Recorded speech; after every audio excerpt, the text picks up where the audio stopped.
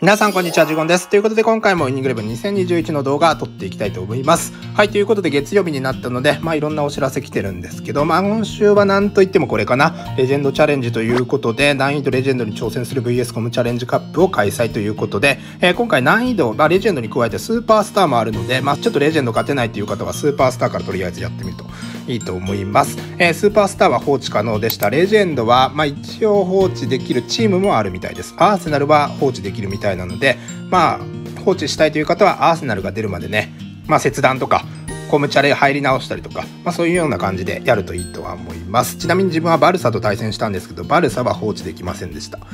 はい、えー、これ何もらえるかっていうと、レジェンド選手のみがピックアップされたスペシャルエージェント、レジェンズ X 9支部かな、えー、こちらがもらえる。ガチャチケットですね、えー、レジェンド対象のみのガチャチケットもらえます。これ1週間ということでこの期間の中で、えー、ぜひやっておきたいところです。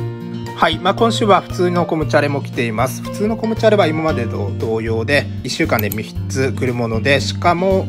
3連勝がね条件というやつです、えー、いつものようにスペシャルトレーナーがね報酬で入っていましたね、えー、そしてレジェンドチャレンジということで真ん中に映っているレジェンドチャレンジがスーパースター右側がレジェンドということでやっていくといいと思います。はい、えー、今週のオンチャレに関しては特に先週と変わってないんですけど、まあ、チーム力ごとに、えー、いろいろね分かれています。左からスキルトレーナーポジショントレーナースキルトレーナーという感じでそれぞれ初回報酬が5個ということになっているので、まあ、それぞれねゲットしたいという方はやってみてもねいいとは思います。はい、ということで、えー、レジェンドの対象選手見ていきたいと思うんですが、今回47人ということで、うん、結構多い。はい、えー、そのうち2人が当たるという感じ。です。まあ得点で結構ねかぶってる選手とか、まあ、持ってる方はもうねアイコニック持ってるという方はもうそこ引かなくていいので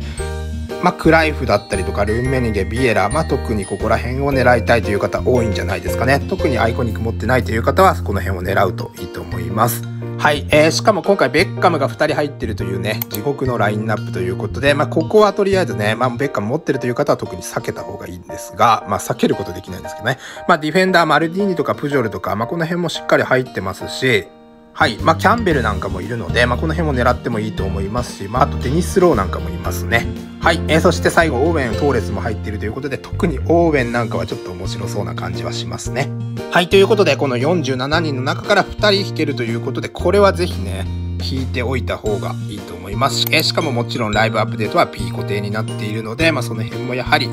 今の時期だとかなり重宝されそうな選手たちなので、えー、ぜひね、紙引きしたいところですが、運次第です。